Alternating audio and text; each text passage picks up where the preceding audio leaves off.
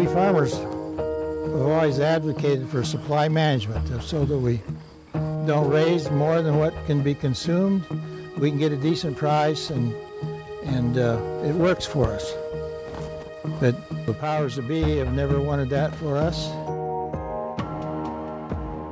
Farmers have been forced into farming the policy that comes out of Washington, D.C. that really they have no input on. Our federal policy has allowed farm prices to go drastically low, so the margins of farming are very thin or non-existent. If you're going to make a living, you're going to have to use every economy of scale you possibly can. And when you have farmers competing against each other on that basis, it means you have fewer and fewer farmers. The farms are much bigger. Our subsidy system is just a way of making sure that the system doesn't self-destruct because if you let everybody produce as much corn as possible, you will guarantee a very low price for corn, actually a price that will guarantee uh, economic chaos.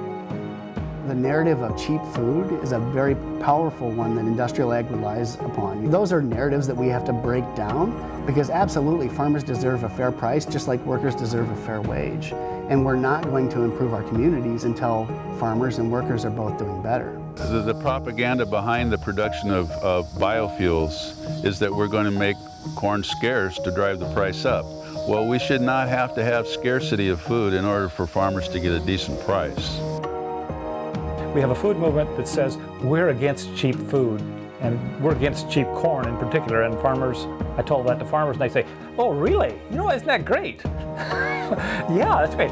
And here's how they think you can get rid of cheap food. Oh, how's that? Just stop paying subsidies to farmers, and then the free market will give you uh, fair prices. Well, free market fails chronically. Farmers understand that if you just simply take away subsidies, that's not going to fix the problem. We're dedicated to this, this life, and, other, and, and we're being taken advantage of, and it does not make me feel good at all. And I know that farmers around the world are being treated in much the same way. If we can't grow food in our local areas, then we're dependent on the much broader corporations who are going to be feeding us, and they will feed us whatever is cheapest, whatever they can make cheapest and make a profit on.